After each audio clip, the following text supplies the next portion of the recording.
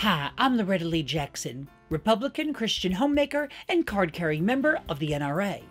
Are you shocked and appalled by the ever growing number of countries that have legalized gay marriage? Last week, Uruguay joined Argentina, Belgium, Canada, Denmark, Iceland, Netherlands, Norway, Portugal, Spain, South Africa, and Sweden. The filthy and depraved nations which allow fudge packers and diesel dykes to enter into matrimony.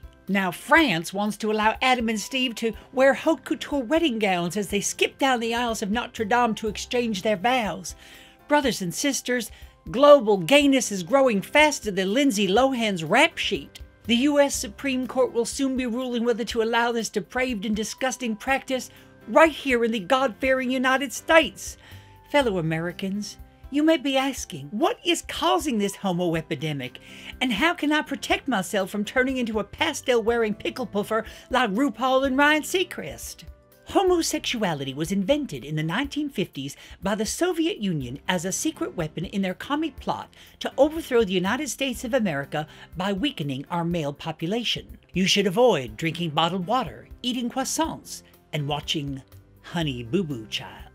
But gayness is everywhere, and television is the main tool the communists have used to spread their radical queer agenda into our homes with programs like Real Housewives, Antiques Roadshow, and Skating with Celebrities.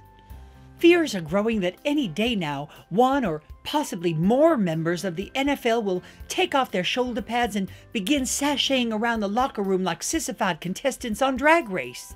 Even Republican politicians like former homo hater Rob Portman are evolving and now support gay marriage.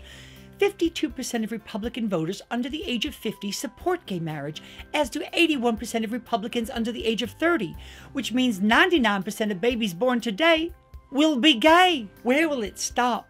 When will it end? Is the epidemic now out of control?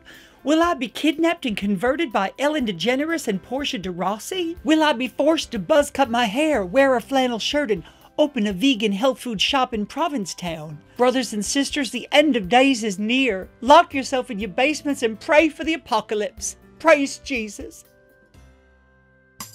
To see Is Your Husband Gay? Click here. Or Is Your Daughter a Dyke? Click here. And to subscribe to this devil channel, click here.